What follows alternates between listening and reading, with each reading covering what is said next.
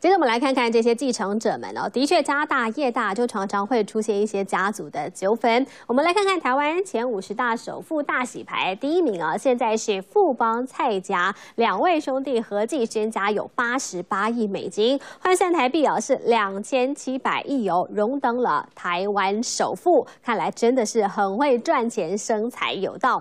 那说到富邦集团，真的也是喜讯连连，像大董蔡明忠的儿子蔡成道在上个礼拜结婚了。那么目前已经进入集团历练，接班准备态势十足。儿媳妇呢，吴廷慧其实家里也大有来头，她是前台北市副市长吴秀光的女儿。那谈到自己的儿子哦，蔡明忠就说，儿子呢有遗传到我，但是要靠后天的努力。但是他说他真的非常努力，看来对儿子的评价是相当高的。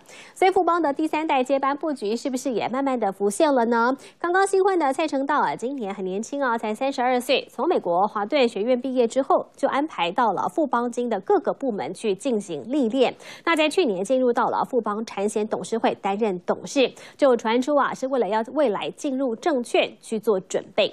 那至于二董蔡明星的长子蔡成儒也有很好的表现。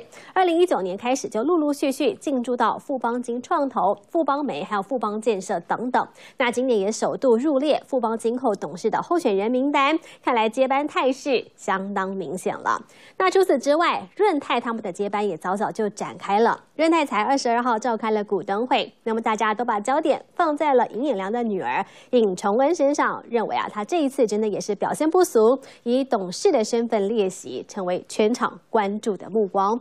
那至于儿子尹崇尧呢，在二零一九年接任了副董事长，到竞选寿险工会理事长，去年六月份升任董事长。在这所谓啊各个董字辈普遍都是德高望重的寿险业来说，他算是相当年轻的，也被说是金融业最年轻的董座。我们家他很不幸，他遗传到我，就是做事情都比较没有天分。富邦大董蔡明忠罕见在媒体前谈起家事，口中的他就是大儿子蔡成道。二十一号才迎娶新娘，前台北市副市长吴秀光的女儿吴廷惠，两人婚礼保密到家，只曝光一张背影的婚纱照，接班问题更受外界关注。能够诚实面对身边的人，最终面对你的工作伙伴伙伴。要儿子诚实面对一切问题。蔡成道今年三十二岁，自美国华顿商学院毕业后，就安排到富邦金各个部门历练。去年进入富邦产险担任董事，有望与二董蔡明星儿子蔡成儒共同接棒。兴奋尖叫，与球员们共享荣耀。蔡成儒深耕运动产业，从篮球到棒球都经营得有声有色。旗下富邦勇士今年更要挑战 Plus League 三连霸。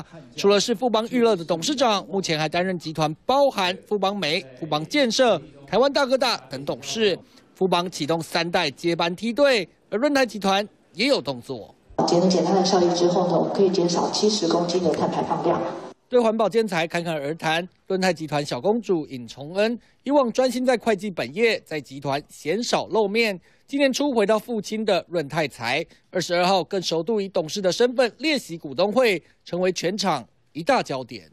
尹崇尧如果担任了这个相关的金融业的这个主管高管的话，他是不可能回去接班目前润泰集团相关的这个一这个产业，所以以这样的状况之下，女儿来顺势接班，似乎是成为一个可能性。专家分析，尹良布局，尹崇尧已经担任南山人寿董事长，为了符合产金分离的规定，安排女儿尹崇恩进入母集团。随着列席股东会，接班态势越来越明朗。筛选中日方向太不到。